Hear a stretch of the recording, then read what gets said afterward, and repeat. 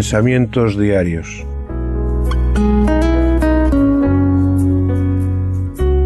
Sencillas pero profundas reflexiones para cada día de nuestras vidas. Meditaciones de la palabra de Dios nacidas de un corazón agradecido por su gracia y misericordia. Pensamientos diarios.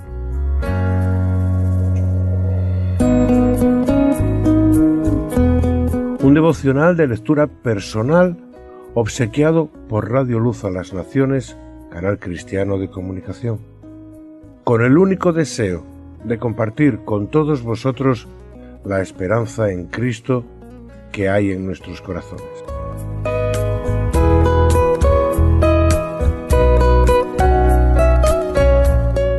Llamados a cambiar la historia.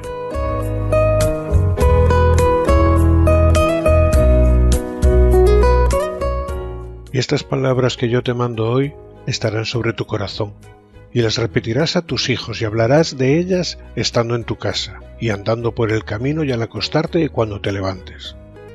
Libro del Deuteronomio capítulo 6 versos 6 y 7.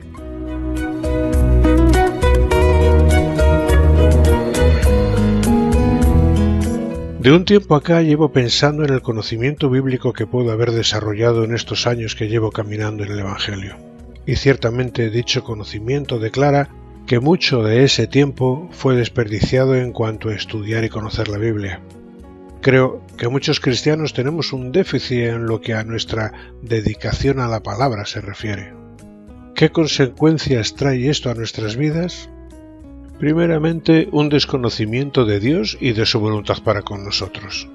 Nos preocupa mucho más estar a la última en tecnología, quién va a ganar la liga de fútbol, o la recetita de galletas integrales que lo que Dios nos puede decir hoy desde el libro de su palabra, la Biblia.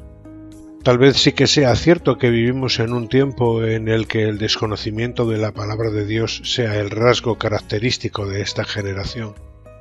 ¿Es malo? Indiscutiblemente que sí. Pero no solamente es malo para nuestras propias vidas, sino que es algo que pudiéramos considerar peor que las consecuencias que esto va a acarrearnos a nosotros mismos y es el efecto que esto va a traer o está trayendo sobre nuestras futuras generaciones. Pues les estamos enseñando a vivir de espaldas a la Biblia, les estamos enseñando a desdeñar la palabra de Dios, a priorizar nuestra vanidad o el amor por las cosas de este mundo sobre la propia voluntad de Dios. En cierta ocasión un hombre sabio me dijo, no hay cosa peor que ser predicador de segundas voces. Pero hoy está al cabo de la calle buscar las predicaciones en Internet o sacarlas de algún antiguo libro que cae en nuestras manos. ¿Qué legado estamos dejando? ¿Qué generación vamos a forjar?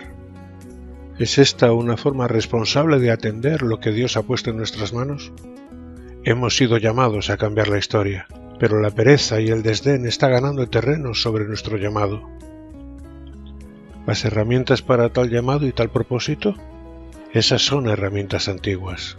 No ha habido mucho cambio en ellas desde el principio. La palabra de Dios, la Biblia. Y estas palabras que yo te mando hoy estarán sobre tu corazón y las repetirás a tus hijos y hablarás de ellas estando en tu casa y andando por el camino y al acostarte y cuando te levantes. Tal vez el diablo te engañó, tal vez te convenció de que tú no eres el indicado para tal trabajo. Tal vez has llegado a pensar, a creer, que tú no sirves para transmitir nada, que ese no es tu trabajo. No permitas que el enemigo te derrote sin presentar batalla. No te dejes vencer por el desdén ni pienses que tú ya lo sabes todo de Dios y que ya no necesitas saber más.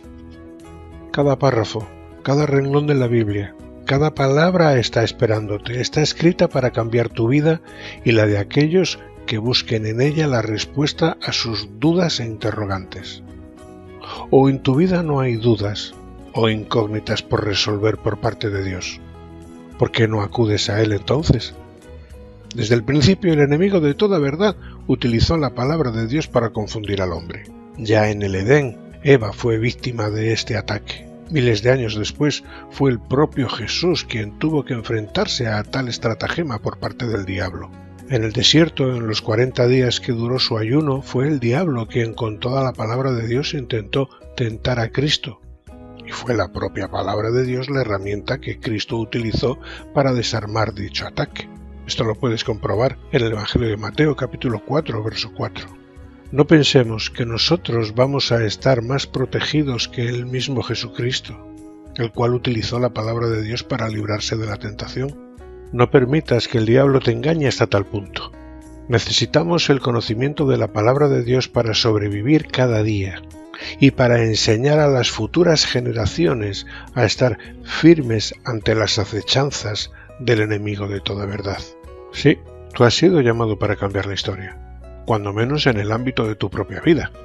Por lo tanto, no desmayes en el conocimiento de la palabra de Dios. No desmayes en buscar y en entender cuál es su voluntad para contigo. Tú tienes una responsabilidad para con aquellas generaciones que vienen detrás de ti.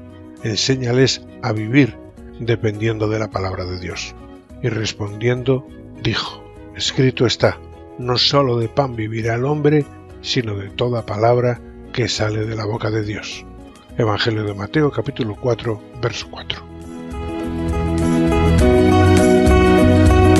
Pensamientos diarios. Meditando en la palabra de Dios. Santificad a Dios el Señor en vuestros corazones, y estad siempre preparados para presentar defensa con mansedumbre y reverencia ante todo el que demande razón de la esperanza que hay en vosotros.